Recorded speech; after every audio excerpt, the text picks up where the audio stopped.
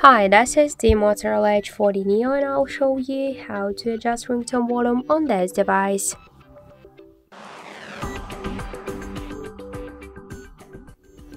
So open first the settings and then tap to the sounds and vibration.